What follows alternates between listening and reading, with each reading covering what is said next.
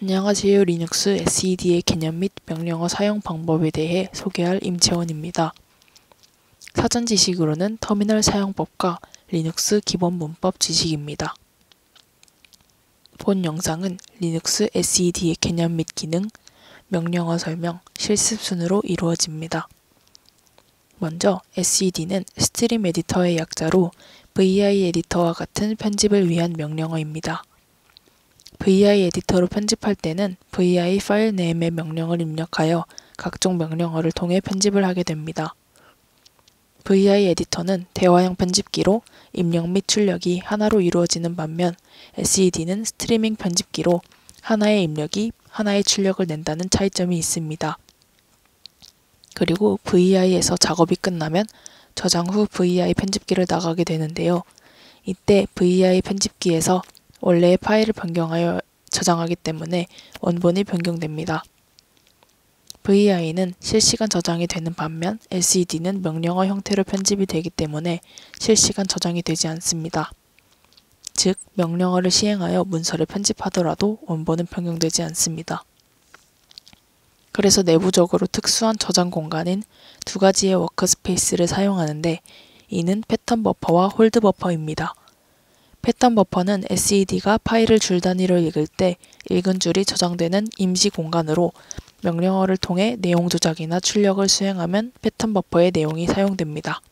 hold 버퍼는 패턴 버퍼보다 조금 더 길게 가지고 있는 저장소로 이전에 작업하던 줄을 기억할 수 있고 어떤 내용을 hold 버퍼에 저장하면 SED가 다음 줄을 읽더라도 원할 때 다시 불러와 재사용할 수 있습니다.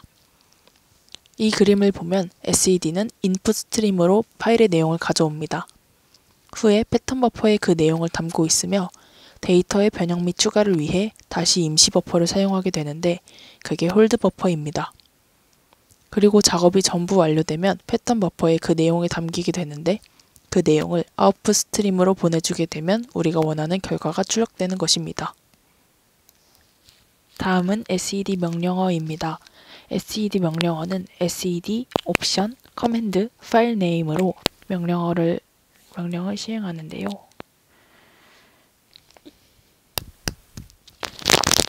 다음은 SED 명령어입니다. SED 명령어는 SED 옵션 command file name으로 명령이 시행되는데요. 알아볼 옵션은 세 가지입니다. 마이너스 -E 옵션은 다중 편집을 가능하게 하며 두 개 이상의 패턴을 사용하는 경우에 사용됩니다. 마이너스 -N 옵션은 자동 출력을 생략하는 옵션으로 변경한 라인만 출력하고 싶은 경우 사용됩니다. 마이너스 -I 옵션은 파일을 덮어쓰기 할 경우 사용됩니다. 다음으로는 플래그 커맨드입니다. 보이는 바와 같이 여러 개의 flag가 있으며 본 영상에서 집중적으로 알아볼 command는 행을 삭제하는 D, 행을 출력하는 P, 문자열을 치환하는 S입니다. 다음은 정규식 meta 문자입니다. SED는 정규식과 같은 패턴식을 사용하여 편집할 수 있기 때문에 정규식을 알고 있으면 SED를 조금 더 유용하게 사용할 수 있습니다. 다음은 치환 플래그입니다. 치환 플래그는 s와 함께 사용할 수 있는 것으로 검색 후 실행할 수 있는 명령들이라고 보면 됩니다. 이제 실습을 해보겠습니다.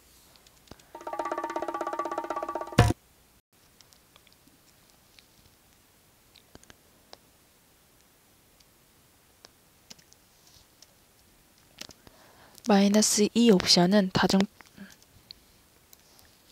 다음은 SED 명령어입니다.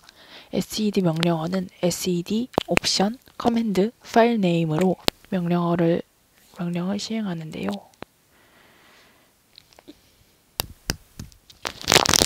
다음은 SED 명령어입니다. SED 명령어는 SED 옵션 command file name으로 명령이 시행되는데요. 알아볼 옵션은 세 가지입니다. 마이너스 -E 옵션은 다중 편집을 가능하게 하며 두 개 이상의 패턴을 사용하는 경우에 사용됩니다. 마이너스 -N 옵션은 자동 출력을 생략하는 옵션으로 변경한 라인만 출력하고 싶은 경우 사용됩니다. 마이너스 -I 옵션은 파일을 덮어쓰기 할 경우 사용됩니다. 다음으로는 플래그 커맨드입니다. 보이는 바와 같이 다음으로는 flag command입니다. 보이는 바와 같이 여러 개의 flag가 있으며 본 영상에서 집중적으로 알아볼 command는 행을 삭제하는 D, 행을 출력하는 P, 문자열을 치환하는 S입니다. 다음은 정규식 meta 문자입니다. SED는 정규식과 같은 패턴식을 사용하여 편집할 수 있기 때문에 정규식을 알고 있으면 SED를 조금 더 유용하게 사용할 수 있습니다. 다음은 치환 플래그입니다. 치환 플래그는 S와 함께 사용할 수 있는 것으로 검색 후 실행할 수 있는 명령들이라고 보면 됩니다. 이제 실습을 해보겠습니다.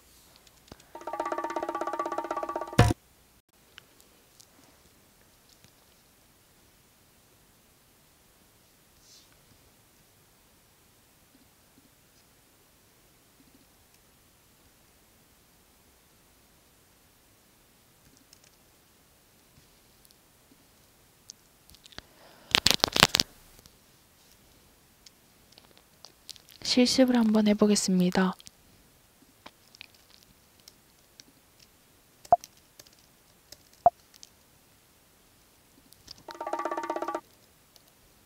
실, 실습을 한번 해보겠습니다. 우선 테스트라는 파일을 미리 만들어 두었습니다. 어, 출력 예시 먼저 한번 알아볼 텐데요.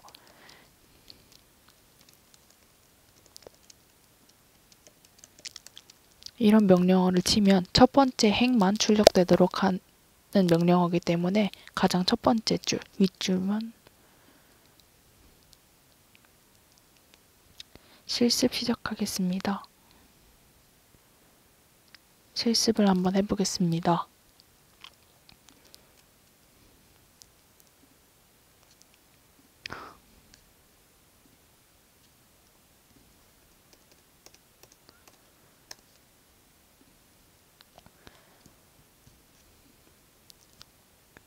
실습을 한번 해보겠습니다.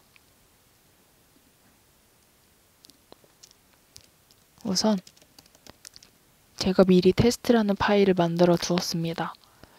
그리고 sed 명령을 한번 실행해 보겠습니다. 이 명령은 첫 번째 행만 출력하도록 하는 명령입니다.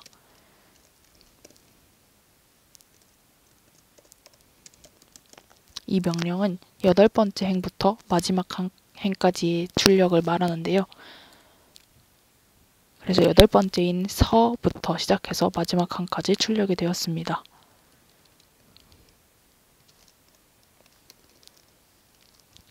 이 명령은 010을 포함하는 행을 출력하는 명령입니다.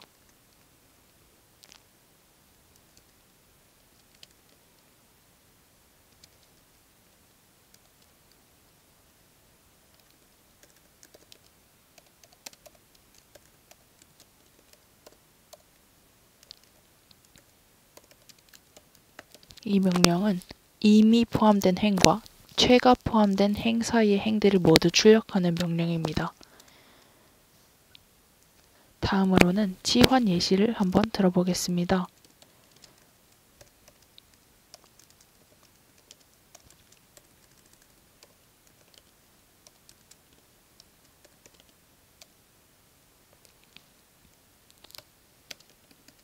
첫 번째 행에 홈에서 소원이라고 다가단 거를 수원으로 한번 바꿔보겠습니다.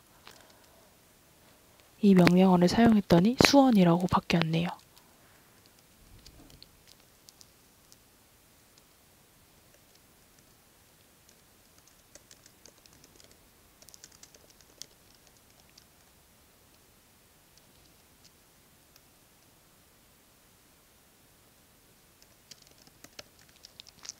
이 명령은 "-n 옵션과 p 플래그에 의해 변경된 라인만 출력하도록 하는 명령입니다.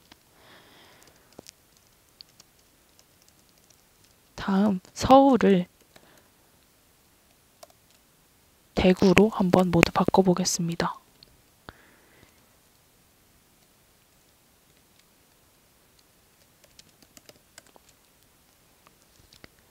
지금 여기와 여기가 대구로 바뀐 걸 알 수 있죠. 여기는 소문자여서 아직 안 바뀐 거로 알고 있고요. 여기에 i를 하나 붙여주게 되면 소문자였던 서울도 대구로 바뀐 것을 볼 수 있습니다. 다음 삭제 예시를 들어보기 위해서 테스트 파일에서 공백을 조금 넣어 보았습니다.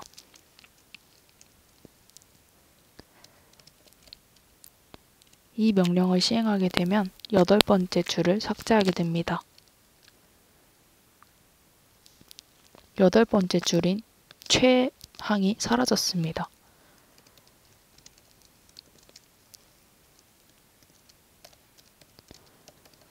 이 명령은 빈 줄을 모두 삭제하는 명령입니다. 빈 줄이 모두 사라지고 최애 항목이 다시 사, 나타났습니다. 이는 원본을 변경하지 않는다는 SED의 장점이 나타난 것입니다.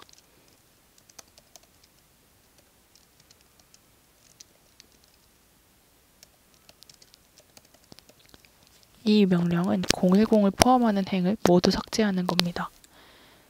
그래서 첫 행만 살아남은 걸 볼 수가 있습니다.